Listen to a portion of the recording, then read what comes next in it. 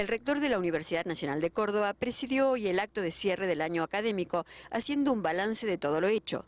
Primero, hacia el interior de la universidad. Hemos generado nuevas carreras de posgrado, hemos trabajado mucho en temas de investigación científica, tenemos dos nuevos institutos de investigación conjuntos con el CONICET, tenemos dos proyectos FONARSEC muy grandes vinculados a temas de la salud.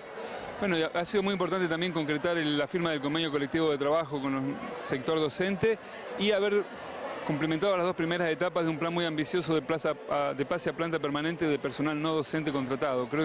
Respecto del convenio colectivo, ¿es una nueva forma de mirarse a sí mismo como trabajador universitario? Sí, yo digo que es la primera vez, al menos que nos reconocen a los universitarios como trabajadores de la educación.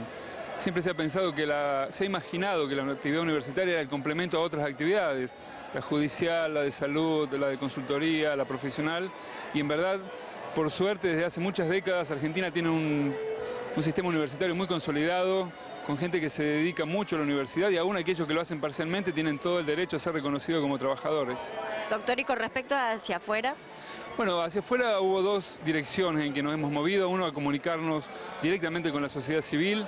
Quiero destacar la creación de la Escuela de Oficios, con un número muy grande de egresados. Eh, podemos también marcar muchos cursos, muchas acciones orientadas a coordinar con el Ministerio de Educación de la Nación y de la provincia.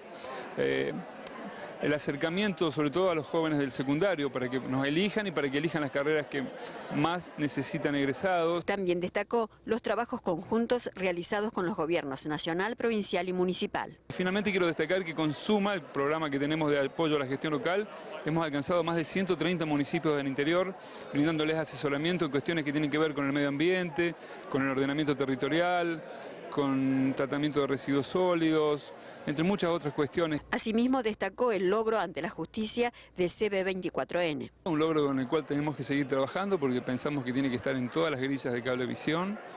Creemos que esto viene a hacer justicia con un viejo reclamo, que no solamente de la universidad o de los SRT, es el derecho que tiene la gente a acceder a otras voz diferentes. Para el 2015, el rector destacó los proyectos de creación de las facultades de Ciencias Sociales y Ciencias de la Información y el de la reforma política. ¿Cómo cara el año que viene en sus proyectos?